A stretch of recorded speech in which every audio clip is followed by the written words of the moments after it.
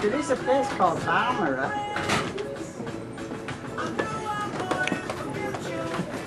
Bushman's House.